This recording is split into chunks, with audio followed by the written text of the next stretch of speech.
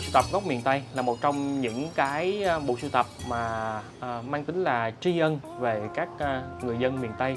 Bởi vì à, tôi đã từng đi khắp miền Tây để à, rong ruổi và sáng tác những bức ảnh về miền Tây. Thì được rất là nhiều bà con miền Tây ủng hộ cũng như là cung mang giúp đỡ. Thì có rất là nhiều loại đất sét khác nhau. Thì ở Việt Nam mình đã có được cái, loại đất do chính người Việt Nam mình làm đó là đất sét Việt để làm hoa. Trước giờ nhiều người đã sử dụng đó là đất sét Nhật đất sét Trung Quốc đất sét Thái Lan tuy nhiên thì à, đất sét Việt Nam mình lại có được những cái cái lý tính khá tốt về trong việc tạo tác. Thứ nhất là giá thành rẻ, thứ hai nữa là về việc à, thực hiện rất là dễ và nó lại không độc hại. Phải làm chủ được cái chất liệu đất sét. Có những loại thì nó pha cái cái chất giấy khá nhiều, cho nên đất sét sẽ nhẹ. Và nhẹ như vậy thì làm ra được những tiết mỏng. Còn đối với loại những loại đất sét mà làm tượng thì nó sẽ dày hơn, nó cứng hơn.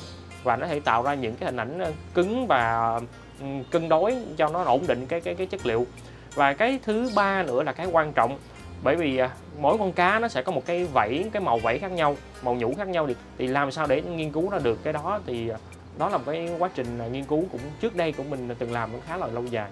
Cái quan trọng nhất đối với mình đó là truyền tải được những cái thông điệp để cho những cái người xa xa quê những bà con ở hải ngoại người ta nhớ về miền Tây.